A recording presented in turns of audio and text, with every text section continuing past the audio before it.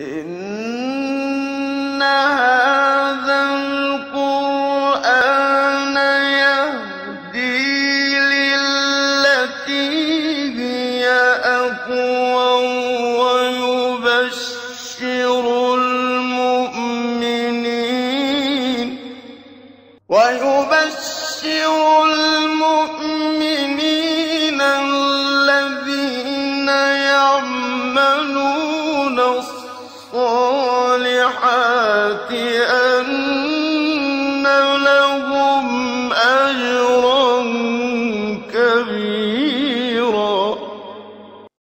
بسم الله الرحمن الرحيم الحمد لله رب العالمين وبه نستعين وصلى الله وسلم على سيد الأنبياء والمرسلين وعلى آله وأصحابه أجمعين ومن تبعهم بإحسان إلى يوم الدين أما بعد سلسلہ تفسیر کی یہ چودہویں نشست ہے اور انشاءاللہ اس نشست میں صورت الواقعہ کی آیت نمبر تیرہ کی تفسیر ہوگی انشاءاللہ۔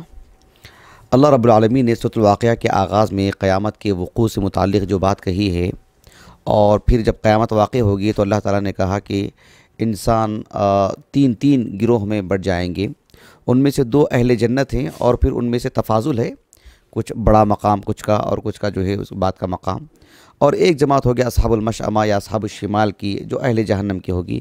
نصر اللہ السلامہ اس کے بعد اللہ رب العالمین نے یعنی بالترتیب جو سب سے بڑا مقام ہے، والسابقون السابقون۔ اولئک المقربون فی جنات النعیم۔ ان کو ملنے والی نعمتیں جو سب سے بڑا مقام ہے، والسابقون السابقون، یہ سب سے بڑا مقام ہے، سب سے اونچے درجے کے لوگ ہیں۔ تو اللہ رب العالمین نے ایک تو ان کی منزلت بیان فرمائی کہ ان کا رتبہ کیا ہوگا، ان کا مقام کیا ہوگا، کہا کہ اولئک المقربون۔ اور پھر ان کو ملنے والی جو نعمتیں ہیں، کہا کہ فی جنات النعیم۔ اس کے بعد ایسا ہونا چاہیے تھا، فی جنات النعیم علی سرور موضونہ۔ متقین علیہ، جو یہ جو آیت کریمہ، علی سرور موضونہ، وہ اس سے ملی جلی آیت ہے۔ یعنی فی جنات النعیم علی سرور موضونہ۔ لیکن درمیان میں اللہ رب العالمین نے کہا کہ ثلت من الاولین وقلیل من الاخرین۔ تو یہ جو ہے، جملہ معترضہ ہے۔ یہ کس اعتبار سے میں آگے بتاؤں گا انشاءاللہ؟ حالانکہ ترتیب میں یہ بات نہیں ہے نا۔ فی جنات النعیم، پھر نعیم سے متعلق جو تفصیلات ہیں، وہ اس کا آگے ذکر ہے۔ اعلیٰ سرور موضونہ۔ متقین علیہ متقابلین۔ اس کے بعد کا جو مقام ہے وہ اسی سے متعلق ہے۔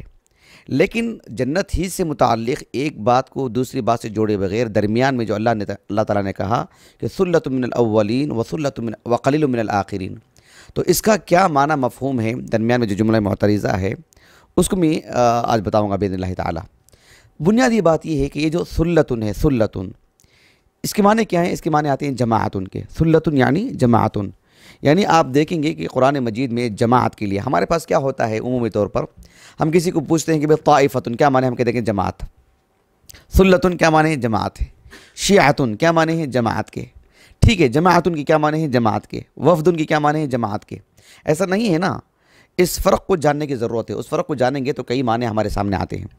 تو اللہ رب العالمین نے فرمایا کہ فی جنت النعیم، جب اہل جنت کا ذکر فرمایا اور ان کی نعمتوں کا ذکر فرمایا تو کہا کہ سلت من الاولین و قلیل من الاخرین۔ سلتن عربی زبان میں جماعت کو کہتے ہیں اور عمومی طور پر جو بڑی عدد والی جو جماعت ہوتی ہے۔ بلکہ راغب الازبہانی کہا، نے کہا کہ رحمہ اللہ کہ فرقتن میں جو کثرت کا جو معنی آتا ہے جماعت کے اندر، فرقہ بولتے ہیں ہم ایک فرقہ۔ اس کے اندر جو جماعت کا ایک معنی آتا ہے فریق کے اعتبار سے، اس سے کم اور طائفتن میں جو جماعت کا جو تصور ہے، کس جس کثرت کا، اس سے زیادہ اس کے اندر معنی آتا ہے۔ یوں سمجھ لیجیے کہ سلتن ایک بڑی تعداد والی جماعت کو کہتے ہیں، جمع غفیر، بکثرت لوگ جس میں ہوں، اس کو کہتے ہیں السلتن السلتو عربی زبان میں السلو السلو یہ جو اساس البلاغہ ہے یعنی ابوالقاسم مخشری کی، تو اس میں انہوں نے اس بات کو لکھا ہے کہ جو السلو عربی زبان میں کہتے ہیں یعنی الکسر۔ الکسر، کیا مطلب یعنی کسی چیز کا کٹ جانا، ٹوٹ جانا، علیحدہ ہو جانا، یہ سب بنیادی معنی اس کے اندر ہیں۔ یعنی کأنہا قطعت من الناس۔ گویا کہ کأنہا جماعت قطعت من الناس، یا کسرت من الناس۔ گویا کہ لوگوں کی ایک ایسی جماعت ہے جو لوگوں سے الگ ہو چکی ہے، کسی بھی معاملے میں، کسی بھی طرح سے ممتاز ہے یہ، کسی بھی طرح سے وہ متصف ہے۔ کوئی بھی معاملہ آپ ان سے جوڑ دیں، اس معاملے میں یہ لوگوں سے الگ تھلگ لوگ ہیں۔ یہ مقصود ہے۔ بات واضح ہو گیا آپ کو؟ تو عربی زبان میں جو ہے، سلتن یعنی سا جو مثلث ہے، اس پر جو ہے مطلب فتحہ۔ ایک ہے سلتن۔ سلتن کہتے ہیں جو بھیڑ بکریاں جو ہوتی ہیں، ان کا جو ریوڑ ہوتا ہے نا، اس کو۔ تو اہل عرب کہا کرتے تھے کہ جو فلان لا یفرق بین السلت و ایسے کہا کرتے تھے۔ کہ مطلب انسان اور جانور میں فرق ہی نہیں کیا اس کو، اس معنی میں۔ تو سلتن ایک بڑی جماعت کو کہتے ہیں۔ تو اس معنی کو آپ ذہن میں رکھیے تاکہ جب آیت کریمہ کی تفسیر ہوگی سلت من الاولین و قلیل من الآخرین اس کے معنی مفہوم میں سمجھنے میں آسانی ہوگی۔ اچھا اس کے، اس سے مراد کیا ہے؟ وہ جاننے سے پہلے ایک بنیادی بات، دوسری وہ یہ ہے کہ یہ جو اللہ رب العالمین نے فرمایا کہ سلت من الاولین و قلیل من الآخرین جیسے میں نے کہا کہ جملہ معترضہ ہے۔ جبکہ بات ایسی ہونی چاہیے تھی کہ اولئک المقربون فی جنت النعیم علی سرور موضونہ، یہی تو سلسلہ چلے گا نا آگے۔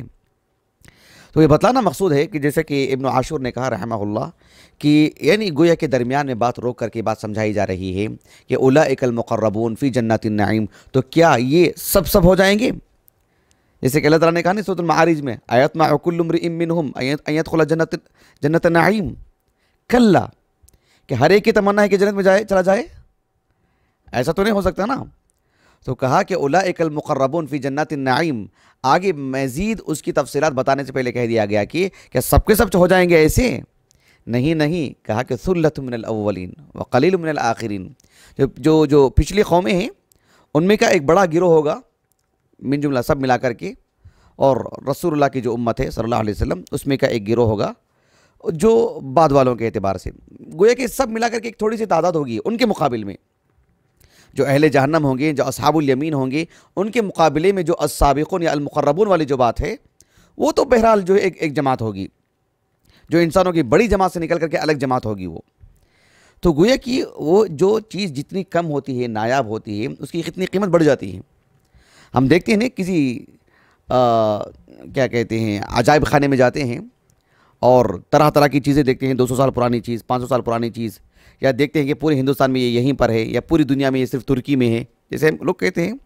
تو اس کو دیکھنے، وہ ایک چیز کو دیکھنے کے لیے لوگ کتنا روپیہ خرچ کر کے جاتے ہیں۔ تو گویا کہ ایک نایاب چیز ہوتی ہے، قلیل ہے، قلیل مقدار میں۔ تو اللہ رب العالمین نے فرمایا کہ یہ ایک ایسا نہیں کہ سب پوری کی پوری دنیا۔ اولئک المقربون، یہ سب کچھ نہیں ہے۔ کہا کہ سلت من الاولین و قلیل من الآخرین ایک بات یہ کہی، دوسری بات یہ ابن عاشر نے کہی ہے، رحمہ اللہ۔ یہ گویا کہ ایک طرح سے خوشخبری بھی دینا مقصود ہے۔ کہ سلت من الاولین کہہ کر کے یہ ایسا نہیں کہ معاملہ وہیں کا وہیں ختم ہو گیا۔ کہا کہ وہ قلیل من الآخرین مطلب بعد والوں میں بھی ہے اور یہ قیامت تک رہے گا، سلسلہ یہ۔ اور یہ سلسلہ قیامت تک کے لیے رہے گا۔ آپ ان کو نمونہ بنائیں، آپ بھی اولئک المقربون میں آ جائیں گے۔ تو گویا کہ ایک طرح سے ہمت افزائی بھی۔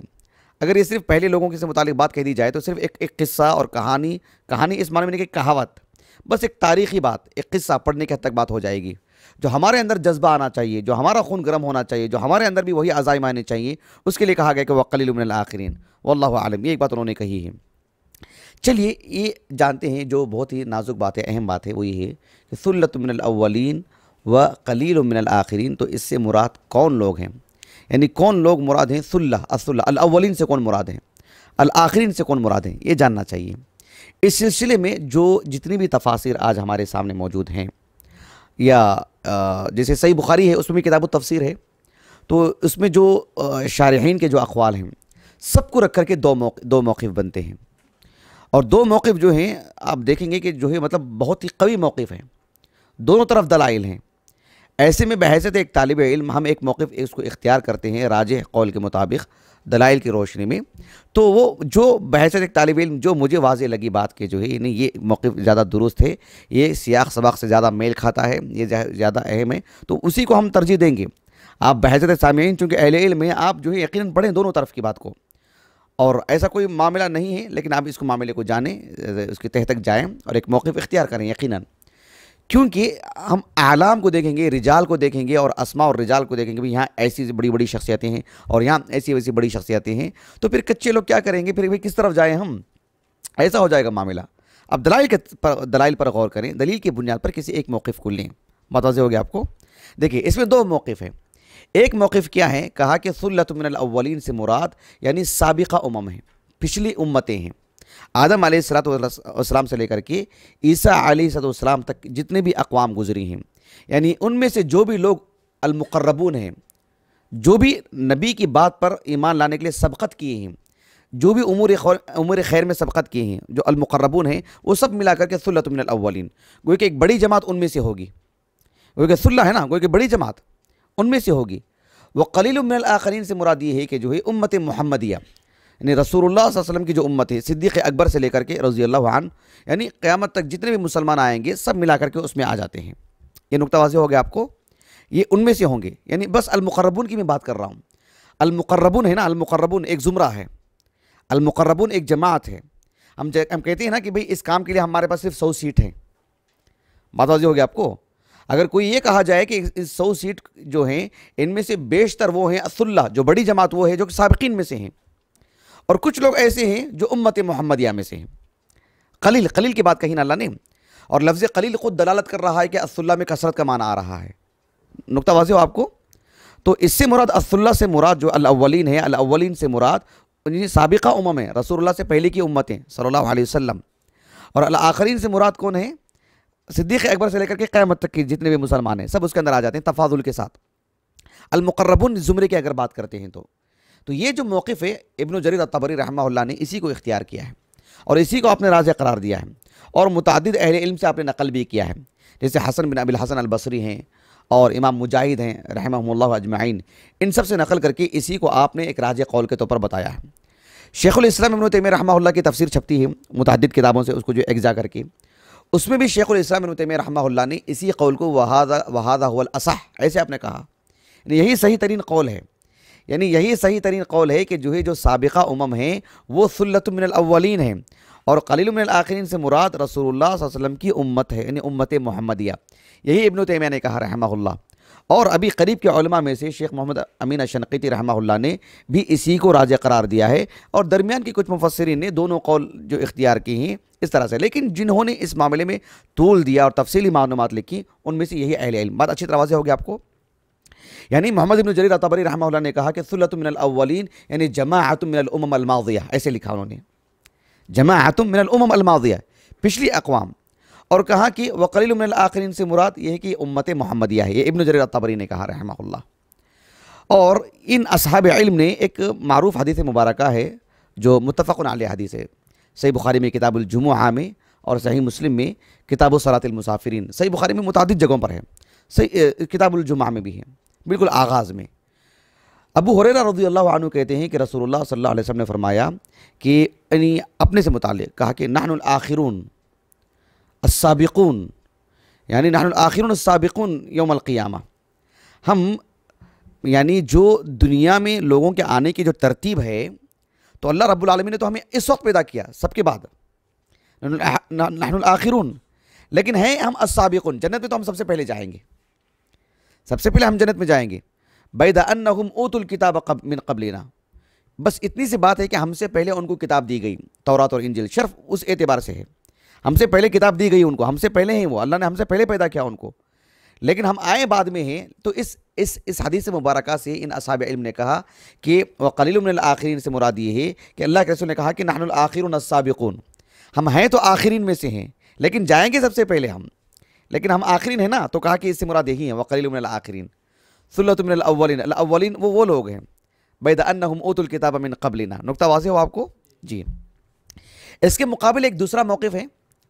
حافظ ابن کثیر رحمہ اللہ نے اپنی تفسیر میں اس آیت کریمہ کے بعد، اس آیت اس آیت کریمہ کی تفسیر میں ابن جریر الطبری رحمہ اللہ کا جو مذکورہ قول ابھی جو میں نے ابھی ابھی ذکر کیا نا آپ کے سامنے، اس قول کو ذکر کرنے کے بعد کہا کہ وہاد قول ضعیف اور گویا کہ آپ نے تھوڑی شدت دکھائی اس میں۔ آپ اسلوب پڑھیں گے دیکھیں گے تو معلوم ہوگا۔ کہا کہ جو ہے کہ یہ کیسے ہو سکتا ہے؟ کہا کہ امت محمدیہ تو خیر الامم ہے نسن نسن خیر الامم ہے۔ اب اس سلسلے میں ایک دو آیات نہیں ہے نا؟ پچاسوں آیات ہیں، پچاسوں احادیث ہیں اس امت محمدیہ کے افضلیت سے متعلق۔ کہا کہ المقربون کا جو زمرہ ہے، یہ کہا کہ یعنی یہ کیسے ممکن ہو سکتا ہے کہ اس میں امت محمدیہ قلیل ہوں اور وہ کثرت سے ہوں؟ المقربون کے زمرے میں کہا کہ نہیں ہو سکتا ہے یہ تو اس طرح سے تیزی دکھائی ابن کثیر نے رحمہ اللہ البتہ ابن کثیر رحمہ اللہ نے تھوڑی سی بات یہ بھی کہہ دی کہ اللہم الا ان یقابل الا ان یقابل یعنی یعنی یعنی من جمیع الامم اس طرح کے الفاظ ہیں کہا کہ اگر اگر الا ان یقابل جمیع الامم اور ابراہیم علیہ السلام نو علیہ السلام، یعقوب علیہ السلام، ایوب علیہ السلام، عیسیٰ علیہ السلام، ان سب کی اقوام کے جو بھی السابقون ہیں، ان سب کو اگر اکجا کر دیا جائے تو عدد تو بڑی ہو جائے گی ان کی۔ ان کے مقابلے میں جو السابقون رسول اللہ پر جو ایمان لانے میں سبقت کیے، ان کو رکھیں گے تو ہاں اس اعتبار سے ان کی تعداد زیادہ ہو سکتی ہے۔ ایک بات کہہ دی ابن کثیر نے، رحمہ اللہ۔ لیکن کہا کہ المقربون، جیسے ہم کہتے ہیں نا سو سیٹ ہیں ہمارے پاس۔ سمجھانے کے لیے بتا رہا ہوں میں آپ کو۔ ان میں سے پچھلی قوموں کے لیے چالیس ساٹھ ساٹھ فیصد ہے حصے ان کی اور امت محمدیہ کے لیے چالیس۔ تو کہا کہ یہ تو نہیں ہو سکتا۔ المقربون میں ہم ہم کم ہیں، ایسا کیسا ہو سکتا ہے؟ تو اچھی طرح واضح ہے یہ بات۔ کن تم خیر امہ، کہا اللہ تعالیٰ نے۔ تو ایک دو آیتیں نہیں ہیں، کتنی آیات ہیں، کتنی احادیث ہیں۔ اور بلکہ یعنی شیخ ابن عثیمین رحمہ اللہ، انہوں نے تو کہا کہ جو ہے وہذا وہذا هو الاصح بل هو المتعین۔ ایسا کہہ دیا آپ نے۔ مطلب اس میں دوسرا قول نہیں ہے۔ لا نقول، بل نقول ہاکذا، ایسے کہا آپ نے۔ ہم یہ نہیں کہیں گے کہ جو اس سے مراد وہ ہیں، اس سے مراد ہیں۔ ہم یہ کہیں گے کہ سلت من الاولین سے مراد دوسرا قول یہ ہے کہ صحابہ مراد ہیں۔ اس امت کا کا اول حصہ ہے۔ پوری دنیا کے لوگ نہیں۔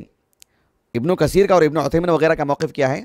سلت من الاولین و قلیل من الاخرین سے مراد کل کی کل امت محمدیہ مراد ہے البتہ سلت من الاولین سے مراد صرف جماعت الصحابہ، صحابہ کی جماعت مراد ہے۔